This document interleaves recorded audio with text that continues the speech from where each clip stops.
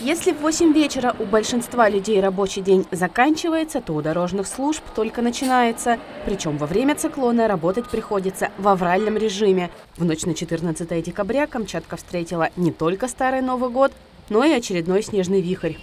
Несмотря на разыгравшееся ненастье, вся техника уже на дороге. Им предстоит работать всю ночь.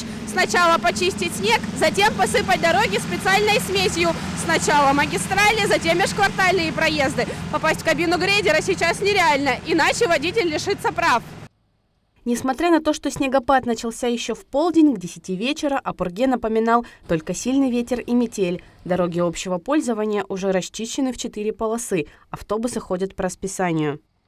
Ну, молодцы, среагировали быстро. Я прям сегодня удивлен. Даже вот здесь вот, ну, как бы временно отъехали сюда, чтобы почистили это место. Грейдеры выходят на дороги звеньями и распределяются по маршрутам в зависимости от загрузки проезжей части снегом. Помимо красной линии, снегоуборочная техника заходит на прилегающие дороги в районы Маховой, Рябиковской, Завойка и поселка Авача. Поддерживаем в порядке. Машины ездят, дорогу сыпем, чистим. Все хорошо. Машины вроде не мешают, граждане стали сознательней. Очень мало их на дорогах. Ну а так все в порядке, что?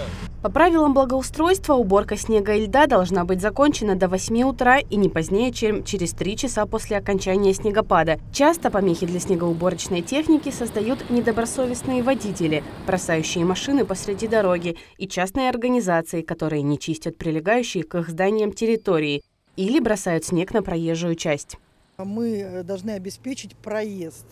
Мы не заходим на придомовые территории, а мы на них будем заходить уже после завершения циклона. Это нормально, это соответствует нормативным требованиям. На сегодня пока все в порядке. Я надеюсь, что так и останется. Все подрядные организации работают, все в дежурном режиме. Есть дежурные, с которыми у нас прямой контакт. А, если где-то какие-то нюансы возникают, проблемы, или мы получаем дополнительные жалобы от тех же перевозчиков, мы оперативно реагируем, передавая им по телефону те проблемы, которые возникают. Напомним, что накануне губернатор края Владимир Илюхин лично проверил расчистку межквартальных проездов в Петропавловске и резко высказался о работе коммунальщиков. Ну, поработать с управляйками. Каждый божий день. На планерках заставлять их отчитываться и перед людьми, и у вас там администрации. Это не дело. Глава края дал поручение в течение недели разобраться с работой недобросовестных управляющих компаний. Также он заверил, что лично проверит выполнение всех поручений и продолжит выезжать по адресам, откуда поступают жалобы на плохую расчистку снега. Александра Раченко, Антон Скрипаченко, информационное агентство «Камчатка».